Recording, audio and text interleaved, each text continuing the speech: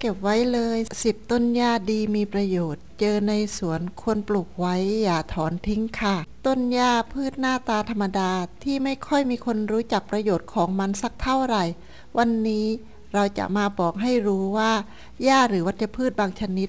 ที่พบตามริมรั้วในสวน หรือขอบทางเดิน มีประโยชน์ควรเลี้ยงไว้ไม่ควรถอนทิ้งค่ะ ถ้าพูดถึงต้นหญ้าหลายคนอาจคิดว่าเป็นวัชพืชหรือแค่ต้นไม้เล็ก ไร้ประโยชน์ เจอแล้วต้องถอนทิ้ง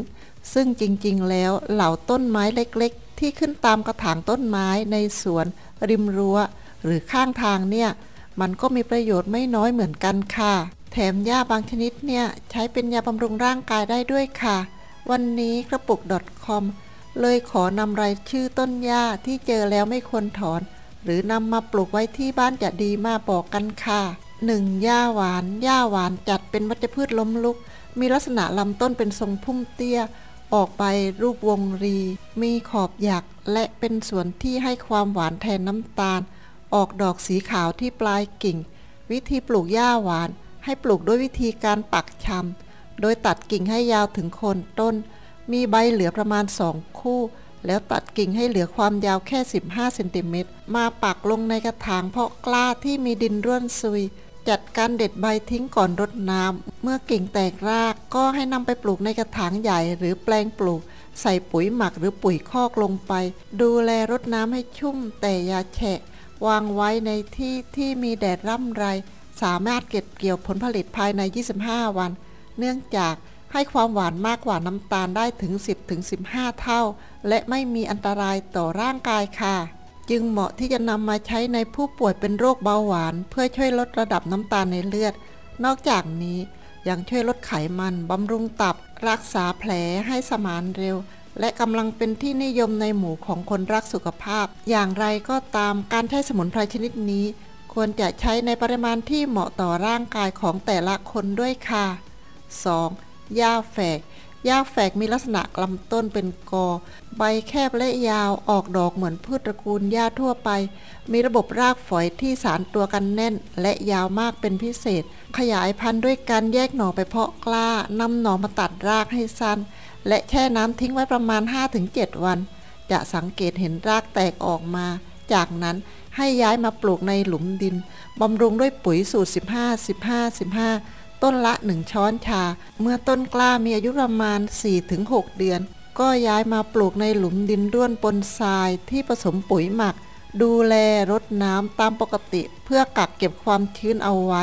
มันตัดใบในช่วงฤดูฝน และรดน้ำให้ปุ๋ยตามปกติต่อไป นอกจากหญ้าแฝกจะมีประโยชน์มากต่อการทำเกษตรและการดูแลสภาพภูมิประเทศ อย่างเช่น ช่วยป้องกันการกัดเซาะหน้าดิน พยุงดินให้แน่นหนา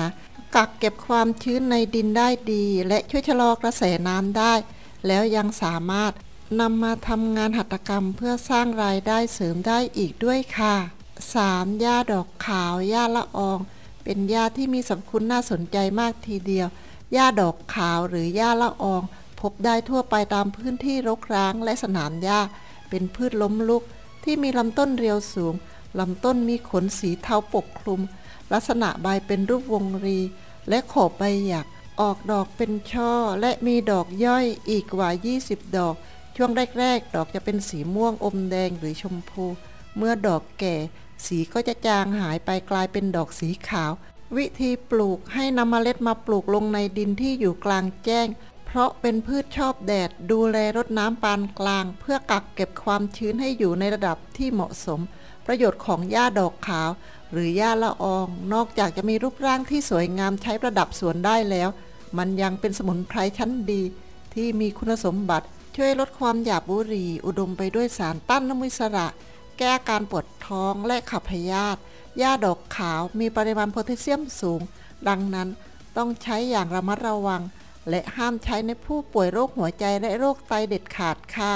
4. มยราบมยราบเป็นพืชลมลุกที่เลื้อยปกคลุมพื้นดิน ลำต้นมีขนาดเล็ก ออกใบย่อยประมาณ 12-25 คู่ ที่แกนก้านใบ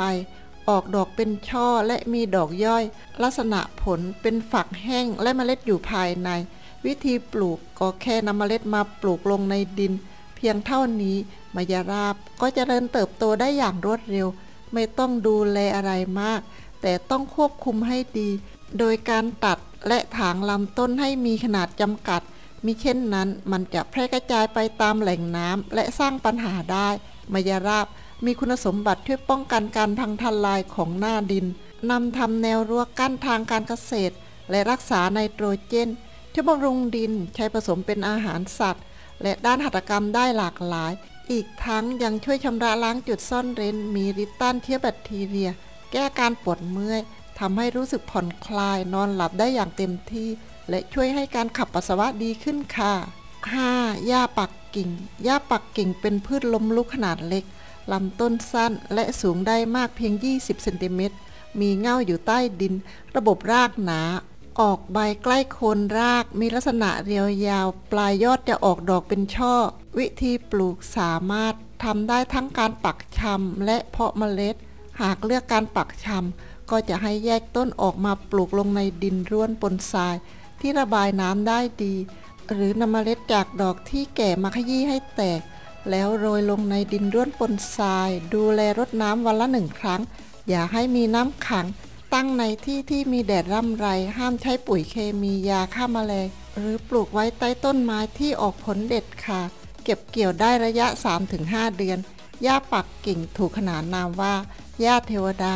สอดคล้องกับคุณสมบัติที่ว่า มีสารต้านอนุมูลอิสระ ช่วยต้านมะเร็ง ช่วยลดผลข้างเคียงจากเคมีบำบัด บรรเทาอาการไข้ แก้ปวดอักเสบ และสร้างภูมิคุ้มกันให้กับร่างกายค่ะ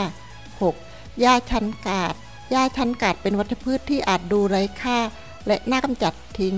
แต่จริงๆ แล้ว พืชล้มลุกชนิดนี้ก็มีประโยชน์ไม่น้อย ไปกว่าสมุนไพรเลยทีเดียว หญ้าชันกาด มีลักษณะลำต้นตรงสูงประมาณ 50 เซนติเมตร มีรากไหลทอดยาว และแตกออกเป็นต้นใหม่ได้ ใบมีลักษณะเรียวยาว ออกตามข้อปล้องออกดอกเป็นช่อ มีดอกย่อยจำนวนมาก ส่วนที่สามารถนำมาเป็นยาได้นั่นก็คือ ส่วนรากและส่วนหัว พบมากตามที่ลุ่ม ริมลำน้ำพื้นที่ที่มีร่มเงา อย่างเช่น ชายหาดทะเล และแนวตะเข็บป่าชายเลนสรรพคุณของยาชนิดนี้ จะถูกนำมาใช้ในการบำรุงร่างกาย แก้การปวดประจำเดือนมาผิดปกติ ขับปัสสาวะ ละลายนิ้ว แก้ไตพิการ รักษาการบวมน้ำ แก้ตาฟาง ตาแดง และตามัว นอกจากนี้ยังแก้พิษได้อีกด้วยค่ะ 7. หญ้าหนวดแมว หญ้าหนวดแมวเป็นพืชล้มลุกขนาดเล็ก มีลำต้นเล็ก และสูงไม่เกิน 0.8 เมตร ลำต้นสีน้ำตาลอมแดง ลักษณะใบเป็นรูปไข่และขอบใบหยัก ออกดอกเป็นช่อกระจุกที่ปลายยอด ลักษณะคล้ายฉัด สีแตกต่างกันออกไปตามสายพันธุ์ มีทั้งสีขาวอมม่วงและสีฟ้า ลักษณะเกสรที่ยื่นยาวออกมา